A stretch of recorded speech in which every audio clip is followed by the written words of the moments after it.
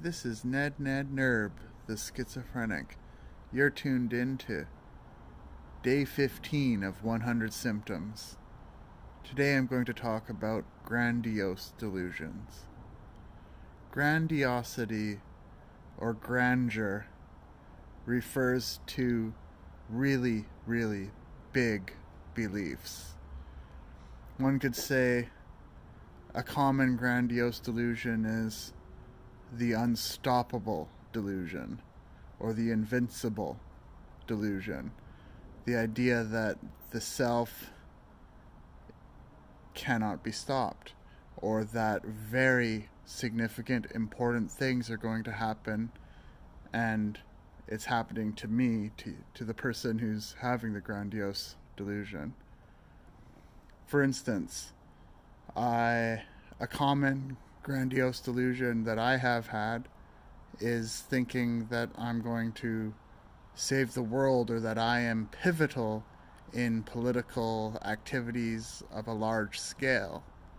Sometimes schizophrenics or psychotics think that they're a celebrity or think that they're being watched and filmed and put on a, a national television service somewhere.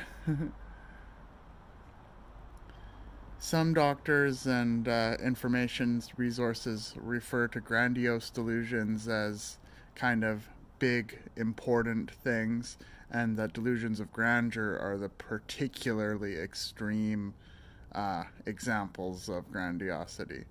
But other sources just call it grandiose delusions and delusions of grandeur without contrasting them like that.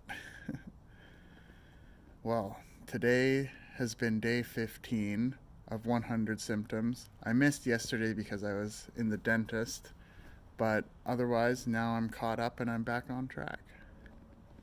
Hmm.